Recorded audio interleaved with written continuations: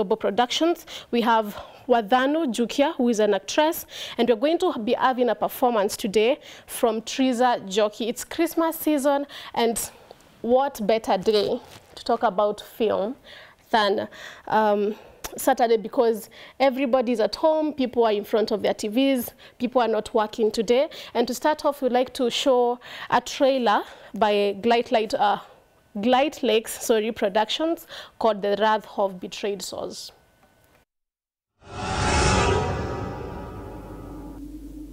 We now live in a society where doctors destroys health. Lawyers destroys justice. Universities destroys knowledge. Government destroys freedom. The press destroys information. Religion destroys morals. And our banks destroys the economy. If you can't fly, then run. If you can't run, then walk. If you can't walk, then crawl. Thing you have to do, you have to keep on moving forward. My dear granddaughter, you have to be strong for yourself as well as for your dad. You are the heiress to your dad's company, remember? Nyumba yangu iko shida mingi za maji. Go call me an accountant. Amefutwa. Na nani? Pia.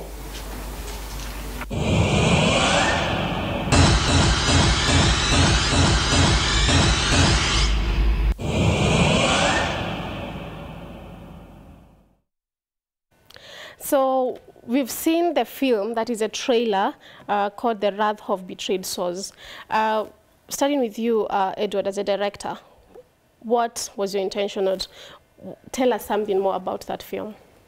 Okay, first, uh, Merry Christmas. Merry Christmas to you too. By the way, how was your day? Forgive my manners. My day was fine. Yeah, I enjoyed the day. I was in church. And uh, I'm happy to be with you. Okay.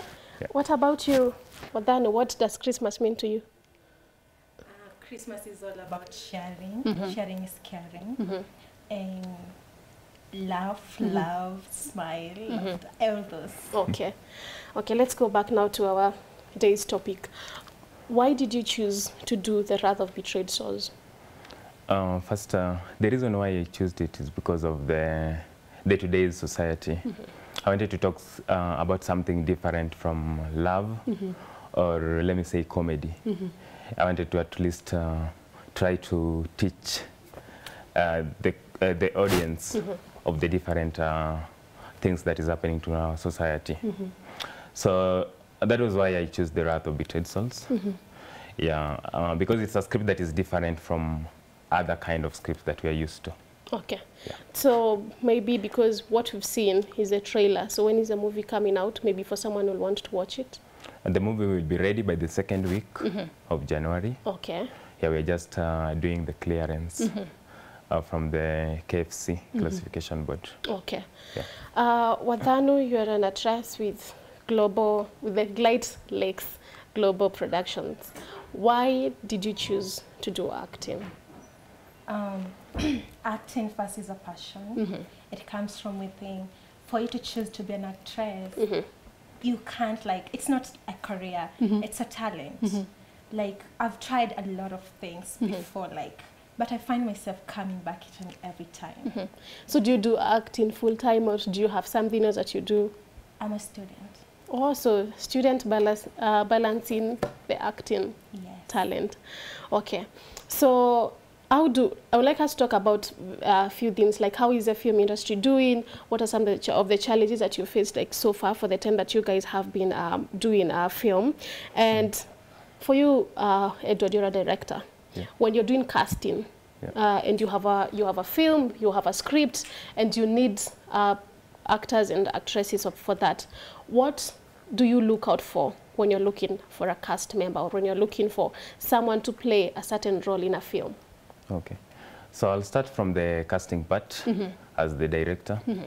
Uh, number one is to locate a good script because we have so many people who come with the script uh, submit a script. So you have to choose first uh, i choose the first the best script.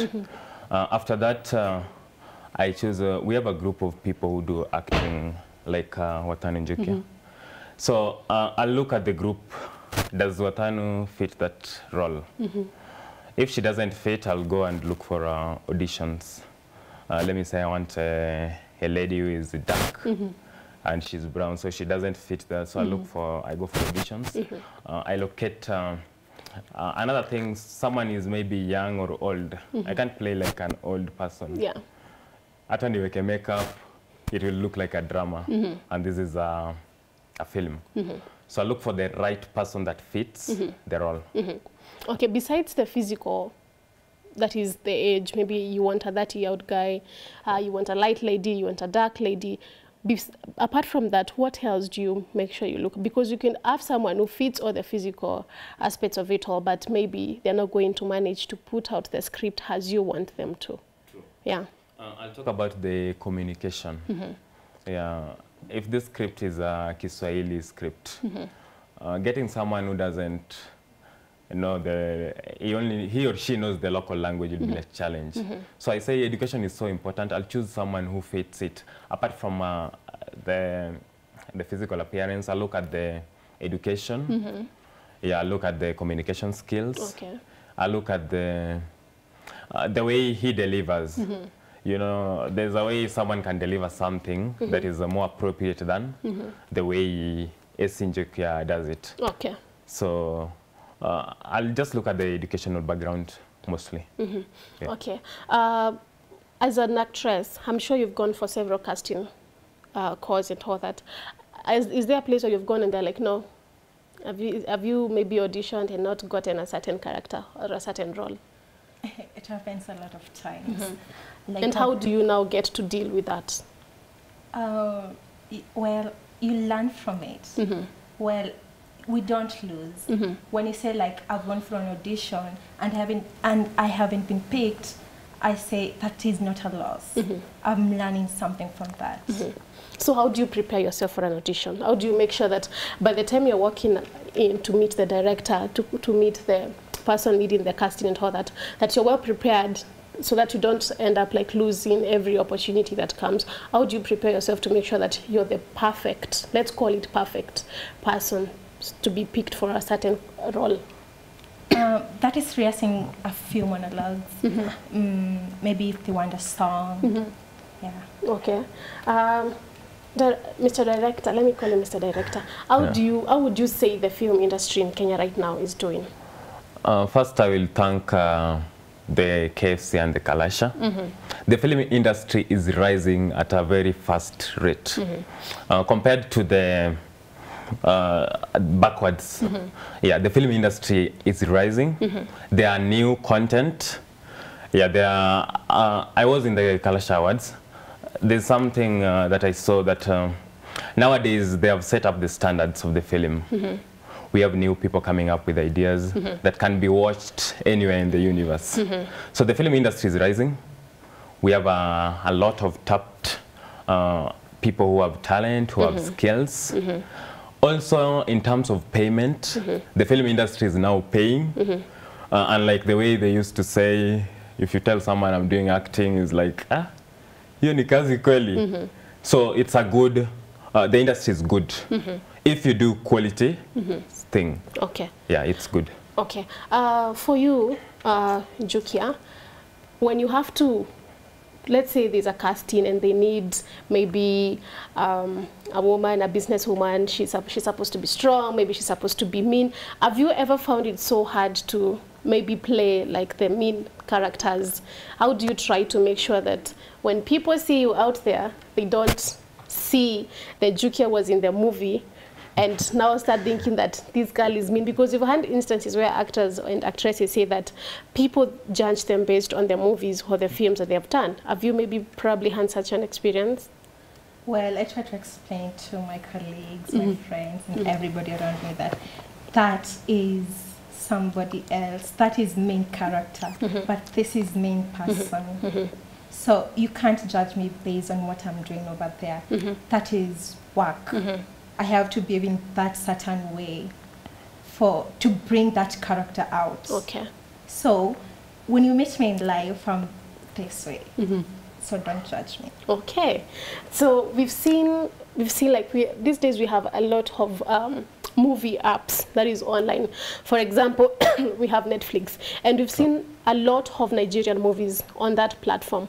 What do we think? We can do as Kenyans to make sure that our movies, because when a movie is on Netflix, this is something that is accessible to everyone in this world. So, what do you think Kenya can do? That is Kenya content creators, that is producers, directors. What can we do to make sure that we get to see one day you log in on a certain application and find a Kenyan movie.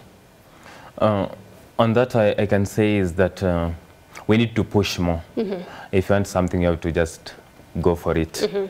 Uh, if there is uh, the government or those who are capable of making that happen, because we have uh, nice content in Yeah. Kenya, I cannot say that we don't have a movie that can be shown on Netflix. We have a variety, uh, Selina and all that. So what I can say is that uh, uh, those who are doing the creation, the filmmakers, do something that can fit that that platform called mm-hmm. Netflix. Mm-hmm. Number two, we look for people who have the the capability or those who have the networks to mm-hmm. get there. Okay. And like me personally, I still don't know how I can get a movie to the to the Netflix. Even though I've watched Netflix movies, I know they are growing each and every time and fixing more upcoming movies. Mm -hmm. Okay. Yeah. Okay, so we're going to be taking a very short break, but when we come back, I'd like us to talk about uh, how can film creators in this country have make sure that they're creating content that is also sustainable and content that is also relatable to the audience. We're going to be taking a very short break on Y254 News. Don't go too far away. We'll be right back.